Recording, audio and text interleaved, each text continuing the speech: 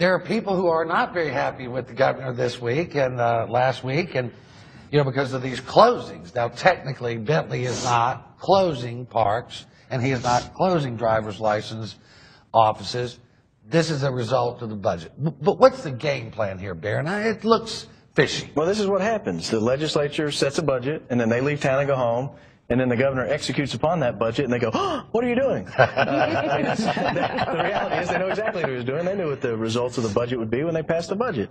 Uh, they either needed to make strategic cuts in other places if they wanted these services to continue to be offered, or they needed to raise revenue sufficient to cover these services. But you can't have your cake and eat it too. That's what they are telling their constituents they thought they had passed, and they're lying.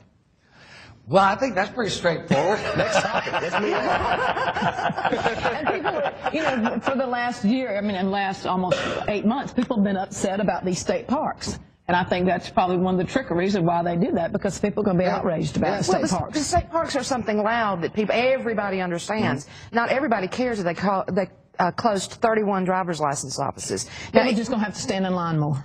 Right now, now, they're saying it only affects five percent of overall driver's licenses in the state. But what does that tell you? That tells you that these are in rural areas. They are out in very low, uh, small populations that they would have to drive a long distance to get a driver's license or a voter ID.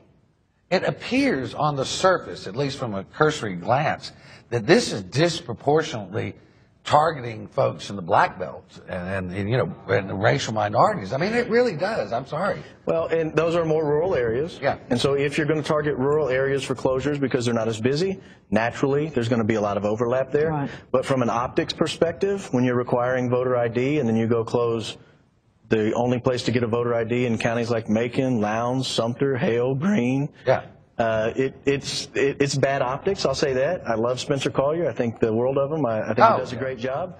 Um, but this is one that really doesn't look all that good. No, it doesn't. And I, I mean, it may be, you know, not coincidental, but just the nature of how you have to do these things. But, I, I, you know, it, it is obviously that they're targeting more Democrats than they are Republicans. Well, just like you said, it's it, it's numbers, it's business, it's people that come in the door. I mean, that's and when you, when you say Macon County, that's close enough to whether it's Lee County and Montgomery County or places like that, and, and the Black Belt, and there probably needs to be some more there, but a lot of the, them are close to Tuscaloosa or. But then you have to take into the fact that a lot of these these communities are very poor, and do they have the money to do this travel? Do they have the twenty dollars in gas it takes to get there and back? That's that's another. Well, I mean, you know, it's it's bad all the way around. I don't know how you fix it.